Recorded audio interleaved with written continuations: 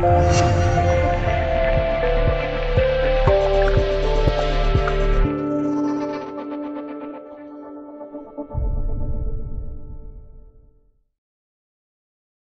本自卫队的官员七月三日表示，日本海上自卫队计划连续第二年派遣加贺号直升机航母到相关海域实施训练。预计加贺号直升机护卫舰及一艘护卫舰将开始为期两个月的的出访和训练，经过钓鱼岛附近海域前往南海及印度洋巡航，并参加多国联合训练和军演。目前，加贺号已经驶离广岛县吴市港口。出海实施紧急机动航行，而与此同时，有媒体报道称，我海警两千三百零八二五零幺二幺六六三五幺幺五舰船组成的编队，目前正在钓鱼岛相关海域进行巡逻。如果加贺号直升机护卫舰往南航行，经过钓鱼岛，则很有可能和这些海警船遭遇。而且这次出港的时机也非常的巧合，很难说不是日本海上自卫队精心策划的。加贺号的排水量为二点六万吨，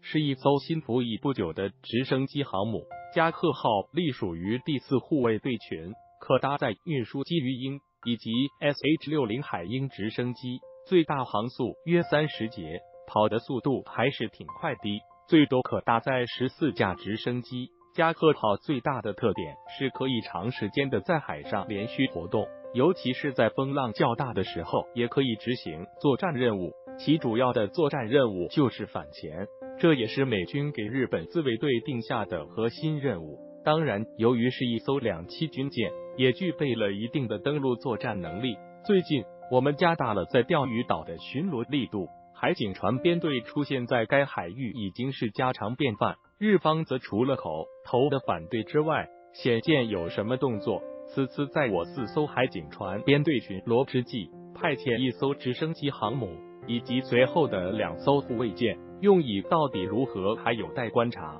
但不管如何，用军舰来对付海警船是不可取的，也是在国际法则上不允许的。因为海警船属于民用船只，而军舰则是军用船只，两者之间是不对等。